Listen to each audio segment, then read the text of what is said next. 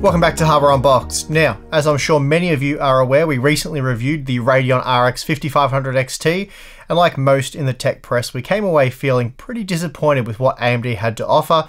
The pricing just wasn't as competitive as it should have been. Anyway, that's not what we're here to talk about today. We're here to talk about something that a lot of you noticed shortly after the release. We saw a lot of news articles that started to surface claiming the 5500 XT might actually be a lot better than first thought, thanks to its PCI Express 4.0 support, claiming it's actually bottlenecked by PCIe 3.0. These news articles claimed that the 5500 XT is around 10 to 20% fast using PCIe 4.0, and all of this surfaced because of an interesting article by PC Games Hardware where they compared PCIe 3.0 and 4.0 performance of the 5500 XT 4 and 8GB models. I suppose at this point it is worth noting that AMD has opted to limit the 5500 XT to 8 times operation as it makes it cheaper to produce. So whereas PCIe 3.0 times 16 cards have 16GB of PCIe bandwidth, the 5500 XT is limited to just 8GB and can only get 16GB when using PCIe 4.0, which right now is only possible using a rather expensive X570 motherboard. Now, just to be clear, we aren't attempting to call out PC Games hardware with this video, and if you think that's where this is heading, then I urge you to watch till the end. With that out of the way, let's talk about their testing. I believe they used the Ryzen 5 3600 and switched between the PCIe modes in the BIOS to compare PCIe 3.0 and 4.0 performance, which is perfectly acceptable.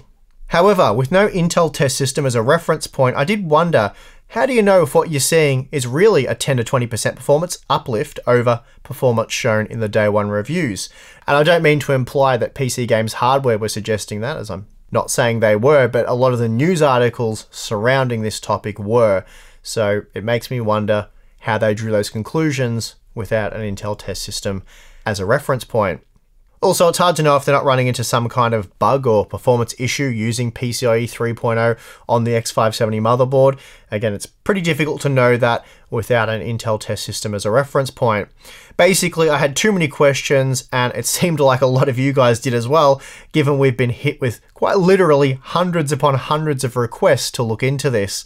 Unfortunately, the timing right now just isn't great, Christmas and all that, but I have managed to run a few tests that should help shed a bit more light on this situation. For this video, I've tested 8 games at 1080p and 1440p. The 4 and 8GB versions of the 5500 XT have been tested, and again, I'm using the Sapphire Pulse models. Now, I used the Ryzen 9 3950X on the MSI X570 Unify using both PCIe 3.0 and 4.0, and we'll be comparing that data with the previously recorded data with the Core i9 9900K test system. Now, please note, the 9900K GPU test rig was overclocked to 5 GHz, so this is not meant to be a CPU benchmark. So AMD fans, don't go getting your knickers all in a knot because the 3950X isn't overclocked. I cannot stress this enough. This is not the point of the video. Okay, with that out of the way, let's get into the results. First up, we have Shadow of the Tomb Raider, and here we're using the second highest quality preset.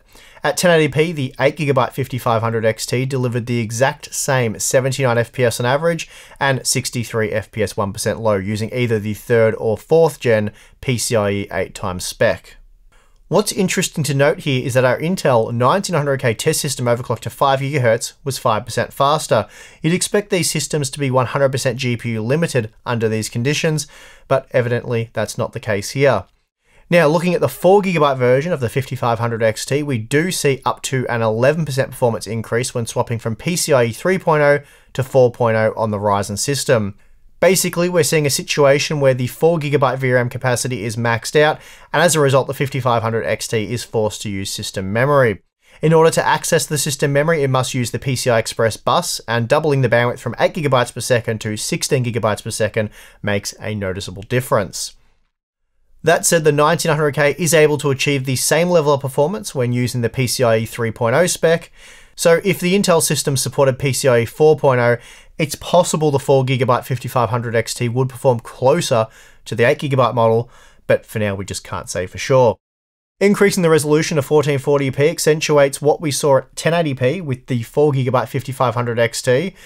Now we're seeing up to a 14% performance increase when using PCIe 4.0 on the Ryzen system, which allows it to match the Intel Core i9 9900K.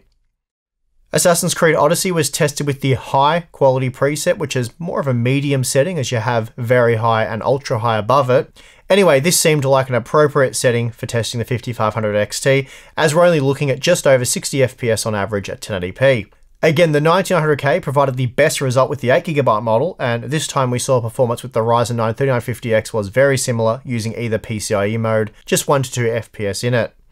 The same was also true when testing with the 4GB model, though this time the 3950X using PCIe 4.0 matched the 9900K. Increasing the resolution to 1440p tanks the frame rate, but here the 4GB model produced the same 44 FPS regardless of the platform or PCIe mode used. We do see some variance with the 8GB model, but again the 9900K provided a strong result using PCIe 3.0. Here we see that the Far Cry New Dawn results are a bit odd, as typically Intel CPUs perform much better in this title. The variation with the 8GB model is pretty minimal, but we do see up to a 6% increase with the 4GB version when using the AMD CPU. That said, we see a little difference between using PCIe 3.0 and 4.0 with the Ryzen processor, and it's the same story at 1440p. Rainbow Six Siege shows a clear improvement in 1% low performance when moving from PCIe 3.0 to 4.0 with the Ryzen processor. However, even when using PCIe 4.0, the 5500 XT still couldn't match the results seen with the Intel CPU.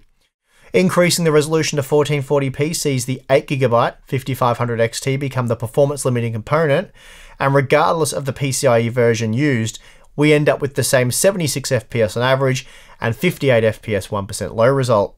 Now, when looking at the 4GB version, we see up to a 16% performance increase for the 1% low result with the newer PCIe revision. But again, this meant the 3950X was now only able to match the 9900K. Call of Duty Modern Warfare was tested using the highest quality settings, as this allowed for very impressive performance at 1080p. Here we see very little difference with the 8GB model, but we do see quite a substantial performance uplift when using PCIe 4.0 with the 4GB version, at least when paired with the Ryzen processor. Here we're looking at up to an 11% increase in performance, but even so, that was only enough to get within 1 to 2 FPS of the Core i9 processor. Moving to 1440p sees the 8GB model deliver similar performance regardless of the PCIe spec or processor used. However, it is quite a different story with the 4GB model. Here we can see up to a 21% performance improvement when using PCIe 4.0, and more crucially, up to a 13% improvement over the Intel system. Basically, Call of Duty Modern Warfare is a very memory intensive title that easily overwhelmed the 4GB frame buffer, so doubling the PCIe bandwidth makes a big difference in that scenario. The Ryzen 9 3950X generally offers a slight performance increase over the 9900K in F1 2019, so it's not surprising that we see the 3950X matching or beating the 9900K here. Looking strictly at the 3950X though, we see about a 3% improvement when using PCIe 4.0, so I guess no real performance advantage then. It's a similar story at 1440p, the extra bandwidth offered by PCIe 4.0 allows for a few extra frames in this title, but nothing to get too excited about. The Ryzen 9 3950X also performs well in Gears 5, so again it does well relative to the 9900K.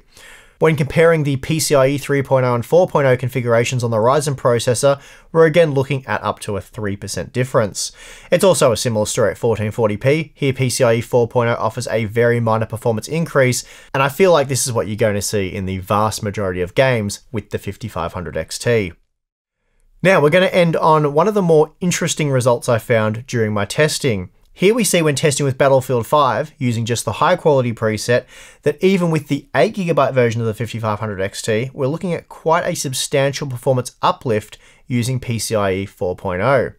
When compared to the 3950X using PCIe 3.0, we're looking at up to a 17% increase in performance and 12% over the 9900K. This is a surprising result for the 8GB model. And quite interestingly, we see virtually identical margins with the 4GB model at 1080p. Clearly these margins aren't a result of flooding the VRAM. This title has to be transmitting more information via the PCIe bus when compared to the other titles tested. Moving to 1440p, we see that now the 4GB model is starting to become more limited by its VRAM capacity, but even so, using PCIe 4.0 enabled up to a 20% performance boost, even over the Intel system. Out of interest, I checked how well the Radeon RX 580 8GB performed on the 3950X system, as I know the Ryzen 9 processors often deliver better 1% low performance in this title. However, comparing the RX 580 on the 3950X to what we got with the 9900K, we see almost no difference in performance. At 1440p, the Ryzen processor improved 1% low performance by a 4% margin, so basically the same frame rates, and this is what we saw with the 5500 XT 8GB when comparing the 3950X using PCIe 3.0 to the 9900K. So it does appear quite clear that extra PCI Express bandwidth makes a big difference in this title. As further evidence of this, I retested the Intel system using PCIe 2.0, so this reduced the PCI Express bandwidth for the 5500 XT from 8GB per second down to just 4GB per second. And doing so saw a massive 24% reduction in 1% low performance at 1080p and an 18% reduction at 1440p. Okay, well that certainly was an interesting test and full credit has to go to PC Games Hardware for first looking into this and bringing it to light. But I do feel a lot of the news stories and I suppose people's interpretation of their results or takeaway from their content uh, has been a bit misleading. Stuff like 10 to 20% performance claims is sort of a norm or what you should see across the board.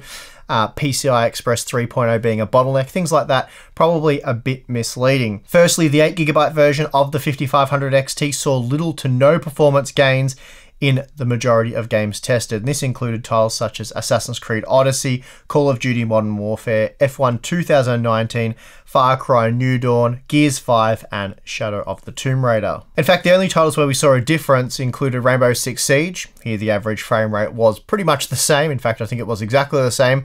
We just saw a small improvement in 1% low performance. And then the big gains were seen in Battlefield 5. But for the most part, PCIe 4.0 did little to improve performance for the 8GB 5500 XT. As for the 4GB model, we did see gains in Battlefield 5, Call of Duty Modern Warfare, Rainbow Six Siege, and Shadow of the Tomb Raider, so half of the games tested. That said, Rainbow Six Siege and Shadow of the Tomb Raider, uh, the performance there was just as strong or even stronger using PCIe 3.0 with the Intel Core i9 9900K. And I believe this is due to the 9900K offering much lower uh, latency access to the system memory, so this helps overcome the limited PCIe bandwidth. It's also worth noting that I used 16 gigabytes of high speed DDR4 memory, as did PC Games hardware, and this can help reduce the performance impact running out of VRAM has on system performance. Had we tested with just 8GB of system memory, there is a very good chance the performance improvements offered by PCIe 4.0 for the 4GB 5500 XT would be greatly diminished. I also don't think it'd change much if we compared the 4GB 5500 XT to the GTX 1650 Super on an X570 system. I think overall the margins would be much the same. But in any case, it doesn't really matter because right now there are no affordable motherboards that support PCIe 4.0, so ultimately it would have been AMD bottlenecking the 5500 XT. Had AMD wired the 5500 XT for full times 16 operation, we wouldn't be talking about any of this right now. It's also worth noting that the GTX 1650 Super and even the crappy non-super version are wired for full PCIe 3.0 times 16 bandwidth. So the fact that they don't support PCIe 4.0 is not an issue here, and technically they are better than the 5500 XT in that regard. In fact, in our recent 4GB versus 8GB 5500 XT content, we saw a few examples of this and at the time completely overlooked the fact that the 1650 Super was operating in a 16 times mode while the 5500 XT was limited to 8 times. So that's my mistake. Testing with Call of Duty showed the 5500 XT really suffered when reducing the VRAM capacity from 8GB to 4GB, but Nvidia's 1650 Super did just fine with 4GB, and now we know why. So, in short, PCIe 4.0 isn't a saving grace for the 5500 XT, not just because support is limited to premium X570 motherboards, but because most games will see no difference in performance, especially popular titles such as Fortnite, for example. Moreover, the fact that the 5500 XT is limited to 8 times operation is just another knock on the product, and another reason to buy the RX 580 or GTX 1650 Super instead. Hell, even the 4GB RX 570 can run in a 16 times mode. Now, just finally, I would like to reiterate that we're not calling out PC Games hardware. I believe their testing to be accurate. I also think their article is rather good and it looks at something that nobody else really did, so that's very cool. But yeah, I think their testing is accurate for the conditions they tested under, and I don't not trying to imply their test conditions were unrealistic or anything like that. They just happened to use a maximum in-game quality settings, which we opted not to do for our 5500 XT testing. So that will just sort of increase a lot of the margins you see, particularly with the 4 gigabyte model as it runs out of VRAM. But anyway, not calling them out. I think their article's very good. I'll link it in the video description. I think it's worth checking out if you're interested. And I happen to agree with their conclusion. Part of it basically says that as games become more advanced, they become more demanding, PCIe 4.0 will take over, and that will just be another nail in Intel's Coffee Lake coffin, as it only supports PCIe 3.0.